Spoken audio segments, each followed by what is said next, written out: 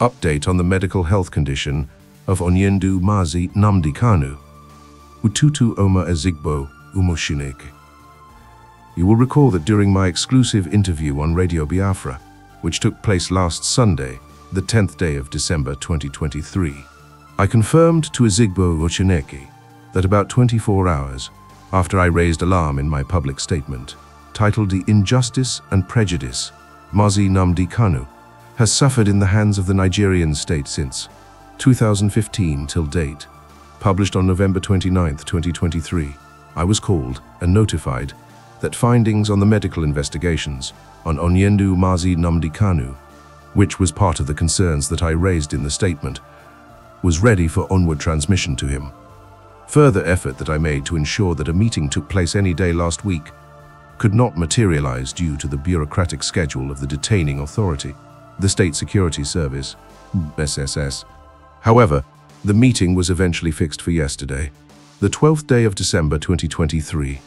I attended this meeting at the SSS headquarters Abuja, where Onyendu is being detained in solitary confinement, in the company of Onyendu's personal doctor cardiologist. Upon our arrival, the in-house medical doctors of the SSS were on the ground to receive us, and in line with the existing protocol. Onyendu was equally present during the presentation of his medical findings and recommendations solutions proposed. Implementation of the necessary recommendations was agreed to commence immediately, even as we are optimistic that the treatment will continue at Onyendu's pace upon his freedom, come the 15th day of December, 2023. Other highlights of the meeting shall remain private, as we prepare for this all-important outing on Friday, the 15th day of December 2023.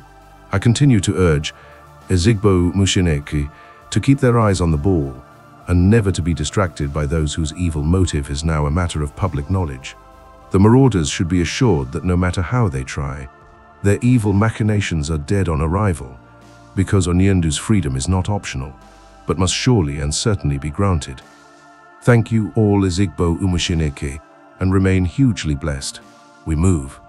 Signed, Serifeni Ejiofor Esquire, KSC, IPOB's Lead Counsel, December 13th, 2023.